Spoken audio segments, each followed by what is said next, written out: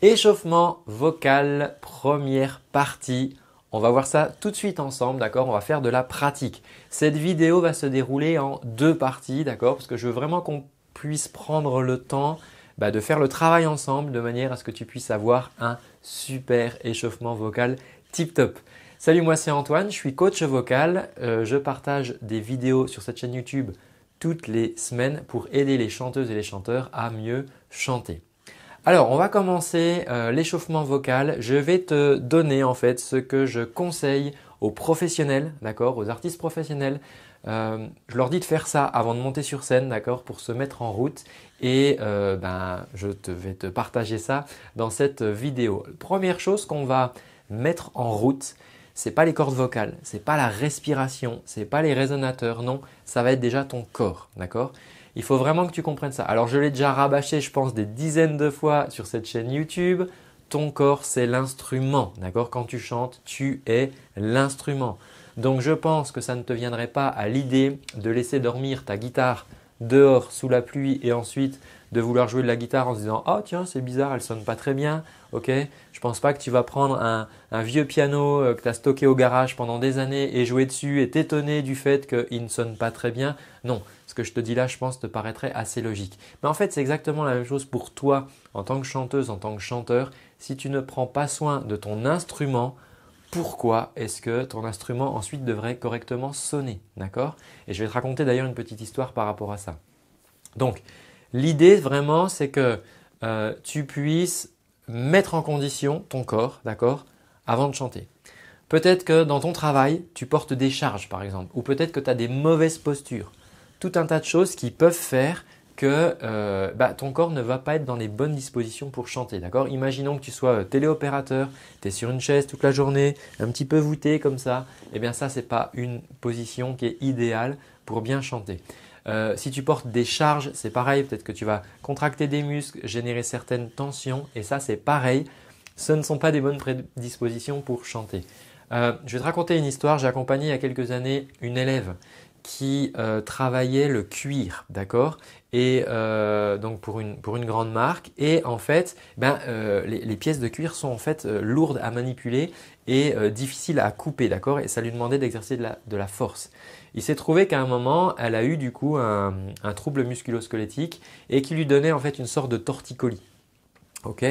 Et euh, voilà, elle m'en avait pas informé euh, tout de suite, mais moi ce que je voyais, c'est que dans sa voix, j'entendais que ses capacités vocales déclinaient. Alors, elle était toujours en capacité de chanter, mais ça sonnait plus aussi bien qu'avant. Les aigus étaient pas aussi libres, la voix résonnait pas autant, d'accord? Donc j'ai commencé à creuser, à investiguer qu'est-ce qui pouvait se passer, et là j'ai découvert voilà qu'elle avait cette, cette perte de mobilité au niveau de l'épaule, beaucoup de tension, euh, un torticolis un petit peu permanent, une perte de mobilité et voilà, on a commencé à travailler sur cette zone-là euh, et là, on a pu récupérer des très belles choses dans sa voix. D'accord? Donc, ça va être très important pour toi de préconditionner ton corps, de manière à avoir un maximum de mobilité. C'est ce qu'on va faire ensemble tout de suite dans les exercices que je vais te donner. Euh, il faut que tu comprennes, euh, il y a un concept qu'il faut que je t'explique juste avant qu'on démarre c'est qu'il euh, y a ce qu'on appelle la compensation ou l'équivalence motrice. C'est quoi? C'est le fait que ton corps va toujours se débrouiller, d'accord, pour faire euh, ce que tu veux qu'il fasse. Je, m'explique. Tu te blesses à une cheville, par exemple, tu te tords la cheville, tu as, une petite entorse, tu as un petit peu mal à la cheville et tu veux marcher. Qu'est-ce que va faire ton corps? Naturellement, il va reporter le poids sur l'autre jambe, d'accord? Euh, Voilà, parce qu'il sait que s'il s'appuie sur telle jambe, ça va te faire mal, donc il vaut mieux qu'il s'appuie sur l'autre jambe. Donc ça, c'est très bien pour un temps donné, d'accord? Le problème, c'est que si tu fais ça tout le temps, au bout d'un moment, tu vas avoir une jambe très très forte et tu vas avoir une jambe beaucoup plus faible, ok? Et à cause, entre guillemets, de la compensation qui s'est mise en place, eh bien, tu vas avoir une jambe voilà, qui sera très peu, euh, avec très peu de muscles et une, une jambe, au contraire, qui va être disproportionnée. Ça va être exactement la même chose quand tu chantes. Si tu n'as pas la bonne liberté musculaire, si tu n'as pas la bonne mobilité, tu vas avoir des effets de compensation qui vont se mettre en place. Et c'est souvent une des raisons pour lesquelles des chanteuses et des chanteurs, par exemple, se font mal à la gorge, aux cordes vocales, parce qu'il y a des compensations qui compensent en fait bah, des choses qui sont coincées de par ailleurs, d'accord, dans d'autres fonctions motrices du chant. Donc voilà pourquoi j'ai vraiment pris le temps de cette introduction, si tu veux, avant qu'on fasse l'exercice, pour que tu comprennes la valeur que ça peut avoir de t'allouer 5, 10 minutes pour faire des petits exercices, d'accord, qui vont vraiment t'aider. Et ensuite, tu pourras euh, chanter euh, correctement avec euh, grand plaisir. Donc on va passer à cet exercice. Alors moi ce que je t'invite à faire c'est à, te mettre debout pour le faire en même temps que moi. juste avant, n'oublie pas de t'abonner à la chaîne, partage la vidéo, mets un petit pouce, ça aidera au, référencement de cette, de cette vidéo et ça fera connaître au plus grand nombre eh bien, justement l'exercice qu'on va, faire, qu'on va faire ensemble. Et voilà, on réunit vraiment une communauté, plus d'une centaine de milliers de chanteuses et de chanteurs dans les commentaires voilà, il y a juste une super ambiance, il y a de l'entraide, il y a des gens qui, disent waouh, j'ai des résultats, j'ai ça, j'arrive à chanter ça. Et cet effet d'émulation, il est vraiment important pour nous. Et voilà pourquoi je, t'invite à, aider, euh, à aider cette chaîne à croître. Alors, le premier exercice qu'on va faire, c'est que euh, l'exercice qu'on va faire ensemble, donc ça va se faire en trois temps et le but ça va être d'étirer les muscles qu'on appelle les possiers du cou, d'accord? Donc on va te mettre une petite infographie là sur le, côté euh, pour que tu vois exactement la zone qu'on étire. Donc tu vois ils sont euh, sur la photo, tu vois qu'ils sont en bleu, d'accord? Donc ça c'est ce qu'on appelle les possiers du cou et ils sont des deux côtés. Ok, donc c'est parti pour l'exercice. Donc ce qu'on va faire, c'est que tu vas d'abord positionner main ici sur le côté au niveau de ta clavicule, d'accord? Et ensuite, une fois que tu auras bloqué la peau, tu vas tourner comme ça la tête, d'accord? Donc je vais, te, je vais te le faire pour que, tu, pour que tu vois que tu puisses le faire en même temps que moi.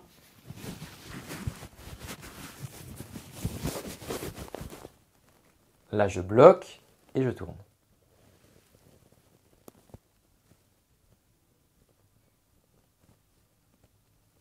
Voilà, je fais ça un petit temps. Ok. Et donc là, je pense que tu vas tout de suite constater l'étirement qui va se, générer ici. Euh, et tu vas pouvoir faire ça pendant 30 euh, secondes, une minute. D'accord? Vraiment prendre le temps. Alors, quand tu vas tourner la tête, ne le fais pas comme ça brutalement. D'accord? On va travailler dans le sens de l'étirement. Fais-le tranquille. Par contre, ce que tu vas pouvoir faire, c'est qu'à chaque expiration, à chaque fois que tu inspires, à chaque fois que tu réexpires, d'accord? Au moment où l'air sort, tu vas tirer un petit peu plus. Donc, je vais te le faire.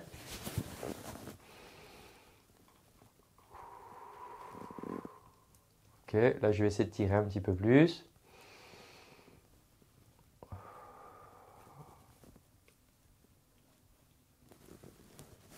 Ok, donc là on a fait un côté, d'accord? Alors les possiers du cou, pourquoi ils nous intéressent? Parce que tu as vu sur l'infographie tout à l'heure qu'ils passent ici, d'accord? Ils recouvrent la zone euh, laryngée. Et nous ce qu'on veut, c'est qu'on veut absolument pas de, tension euh, musculaire d'accord dans cette zone là parce que ça va bloquer ta mobilité laryngée et ça ça va pas nous arranger pour chanter. Donc maintenant bah, on va passer à l'autre côté. Donc pour l'autre côté c'est le même principe, je bloque la peau. D'accord Donc tu peux passer la main là sous la chemise ou sous ton t-shirt, tu vas vraiment bloquer la peau euh, au niveau de la clavicule, ok Et ensuite tu vas étirer comme ça, donc je vais te le faire. Là je bloque, maintenant je tourne. Oui, là je sens que de ce côté-là c'est beaucoup plus dur. ok, et donc là tu dois bien sentir l'étirement. Ok. Donc ça tu peux faire ça pendant 30 secondes, une minute, d'accord, de manière à bien étirer tout ça. Et ensuite, bouge un petit peu la tête comme ça déjà pour constater ce que tu, ce que tu ressens. Moi, tu vois là, le fait de l'avoir fait, je sens que j'ai l'impression d'être beaucoup plus, déjà d'être plus libre. quoi. J'ai l'impression que ça m'a relâché là. Ce qu'on va faire maintenant, c'est qu'on va faire quelque chose alors qui peut être un petit peu douloureux, d'accord? Donc on va y aller tout doucement. Je t'explique le protocole et ensuite on va le faire ensemble. Donc première chose, c'est que tu vas bloquer, pareil, la peau euh, du cou, euh, ici à la base des, clavicules, d'accord? Donc juste ici. Une fois qu'on va avoir fait ça, on va ouvrir, la bouche comme ça. Hein. Et ensuite, tu vas basculer la tête en arrière. D'accord? Donc, on va basculer la tête en arrière. Toujours en bloquant là.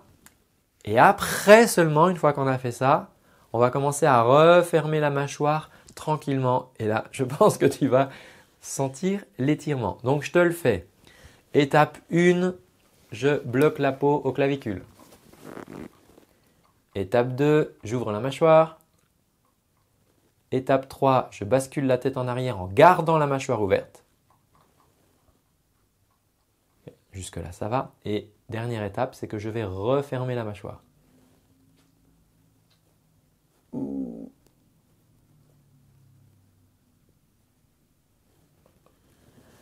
Voilà. Donc celui-là, il faut y aller mollo, d'accord? Si tu refermes la mâchoire d'un coup, tu vas sentir ta douleur. Euh, pour bien le faire, il faut vraiment bien verrouiller la peau sur la base des clavicules, d'accord? Donc, si je résume, une fois que tu as fait ça, du coup, regarde comment ça se passe et tu pourras ensuite faire les gammes, les exercices. Donc t'inquiète pas, je t'ai prévu une deuxième vidéo qui sort la semaine prochaine, d'accord? Euh, On va te mettre le lien là sur le, côté. Euh, tu pourras aller la, visionner quand elle sera sortie.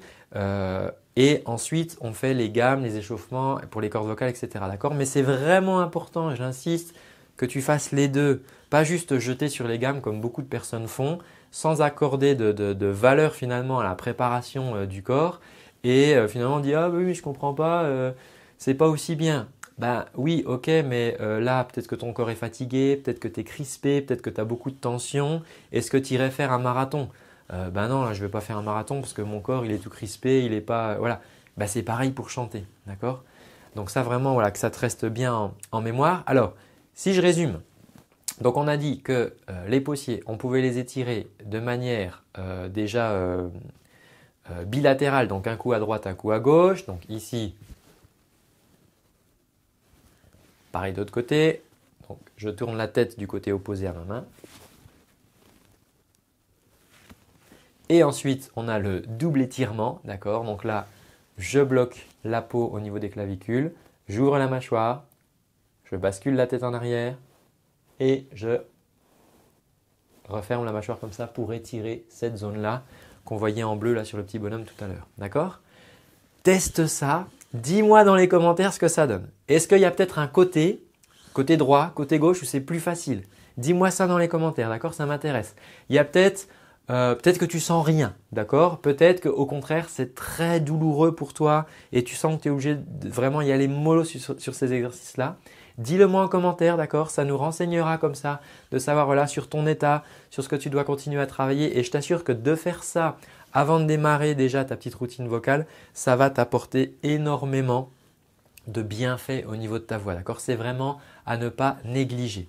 Alors, si ça, ça t'intéresse, si ce genre d'exercice t'intéresse, euh, là, voilà, dans une vidéo courte YouTube, je ne peux pas forcément tout, euh, expliquer, mais euh, je t'ai préparé la vidéo d'un atelier, c'est l'extrait d'un atelier, d'accord, que j'ai donné, un atelier payant dans lequel justement on a fait des petites routines comme ça d'étirement corporel, d'accord, de préparation, de mise en condition du corps. Si c'est quelque chose qui t'intéresse, bah écoute, je te l'envoie gratuitement. C'est un cadeau pour te remercier d'avoir suivi cette vidéo. Donc si tu veux le recevoir, tu vas trouver un lien sous cette euh, vidéo dans la description ou euh, sur le petit bouton qui s'affiche sur le côté. Tu cliques dessus, tu mets ton adresse mail, mais mets bien une bonne adresse mail euh, de manière à être sûr de bien recevoir la, la vidéo que je vais t'envoyer si tu veux poursuivre ce travail donc de préparation du corps. Je te remercie d'avoir suivi cette vidéo. Je te donne rendez-vous du coup la semaine prochaine dans justement la suite de cet échauffement vocal. Et là, on va passer avec le piano. On va faire des vocalises. D'ici là, prends bien soin de ta voix. Ciao